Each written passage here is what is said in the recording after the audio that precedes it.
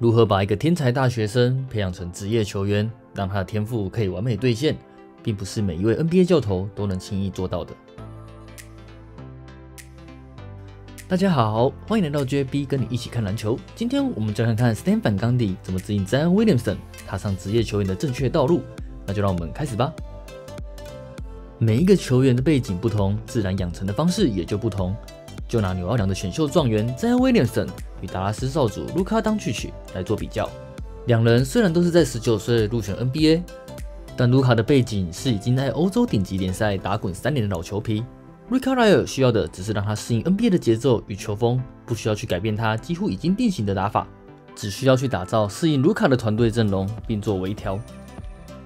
而来自学生篮球的 Zion Williamson 就完全不一样了。虽然大学就读的是传统强权男魔鬼 Duke，而且是在传奇教童 Coach K 的指导下打球，但在学生篮球并不会磨练太多的基本观念与动作，更多的是想办法展现体能上的天赋来吸引球探的注意。引用 Robert McCallaghan 这位专业 NBA 训练师所说过的话：“身体天赋傲人的孩子，用尽全力展现的速度与力量，可以让他在高中或大学崭露头角。少数的球员也能靠着体能在 NBA 取得成功。但如果你想要成为一位真正的优秀球员，那你就必须学会如何正确打比赛。这样的身体素质不需要太多技巧就可以碾压大学生，但在来到了对抗性更强的 NBA 后，一切都将不一样。”去年新人赛季对上达拉斯的 Kleber，硬扛上去几乎都是吃瘪收场。而纽奥良的新任教头 s t a n f o r d 冈迪教育了这位超级新人如何正确打比赛，学会掌控时间差，放出诱饵欺骗对手，学习站到正确位置，改变档数，保持身体平衡，然后才是释放上天赋予他的爆发力与上篮手感。让我们用一些比赛画面来看看现在的 Zion 跟过去比起来，到底哪里变得不一样了。这场对上达拉斯的比赛，纽奥良拥有第一波的进攻球权。而你注意到 Zion 在场上做了哪些事情了吗？首先是控球，了解对手与队友的站位，把球交给侧翼后，马上去帮 Ingram 掩护，接着再到三分线外拉开空间，然后在路边的侧翼接球，启动后没有一股脑杀进去，收球后用假动作帮队友吸引防守者，接着递手传球完马上做掩护，帮队友创造空档。Ball 出手后他也没闲着。积极的往篮下冲抢篮板，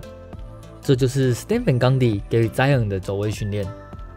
给予 Zion 大量在外围持球的机会，学习判读防守，学会持球攻击的技巧。这球正确阅读防守者的站位，攻击 Clipper 的前侧脚，用他相当优异的左手来终结篮筐。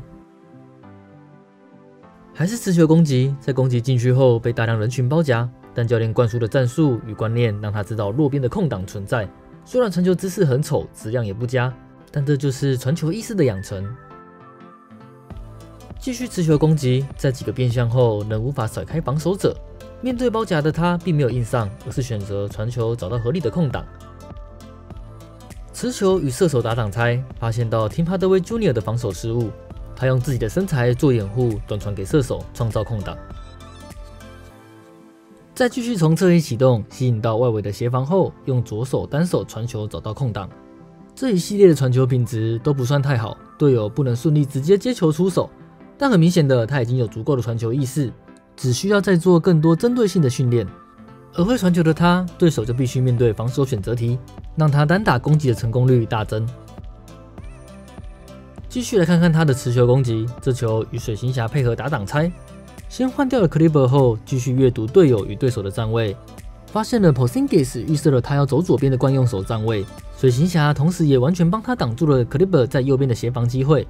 简单一个假晃骗掉重心，用不擅长的右手上篮得分。几乎一样的侧翼挡拆启动，水行侠一样挡掉了 Clipper。这样一发现 Posingis 重心浮起来，马上一个压肩突破，接着就是展现他傲人天赋的时候了。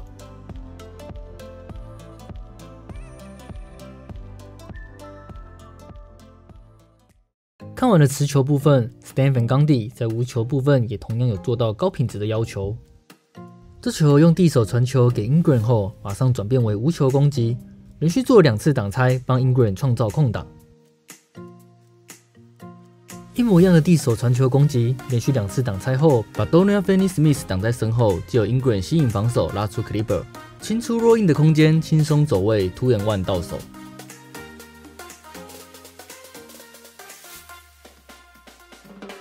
继续做无球的攻击训练高位配合的挡拆攻击顺利找到 Roin 的节奏。但并没有正确阅读防守，而是一股脑地冲向篮筐，相当简单的一个判决，offensive foul。再给 Zion 一次机会，虽然这次接球的节奏没有上次顺畅，但他用运球把 Willie c o l l i s t e i n 往外拉，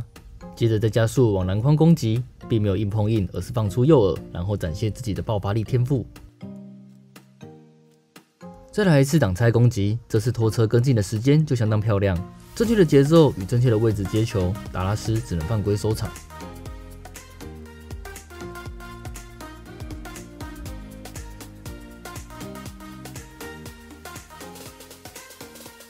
接着来看看这个无球跑位，从这个跑位就可以清楚知道詹阳的头脑是清楚的，先是假挡，然后往落边底角拉开空间，但他没有拉到三分线外。因为他清楚知道三分线不是他的强项，但在油漆区附近，他是一头野兽。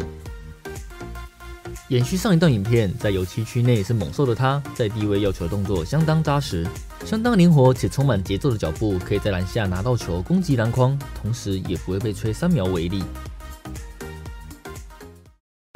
最后一个片段又是在油漆区，无球走位后上中接球，在得力位置拿到球，轻松用爆发力吃掉 Posingis。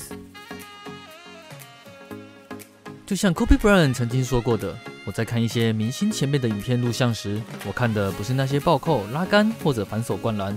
而是看他们怎么站到得力位置，然后怎么改变对手中心，并且正确阅读防守缺陷，接着才是那不重要的灌篮。同样的内容套用在孩子王扎养身上，才经过短短的一年时间，扎养的进步幅度相当惊人，从一个技术不纯熟但爆发力惊人大学生。慢慢转变到充满技巧且不靠蛮力的职业球员，纽奥良的教练团功不可没，而且要帮纽奥良的运动医学团队拍拍手。这样的体重有没有改变，我并不清楚，但是体态明显更轻盈，动作更灵活，减少了集气后飞喷的动作，减少膝盖的耗损，而且在暴扣后选择抓框后两脚轻轻落地，这些动作都是尽可能在减少受伤的可能性。看来，二零一九年的选秀状元正在慢慢兑现他的天赋了。让我们期待属于孩子王的时代来临吧。好的，今天的影片告一个段落。喜欢我的影片，千万不要忘了按赞、订阅、分享跟开启小铃铛。我们下次影片见啦，拜。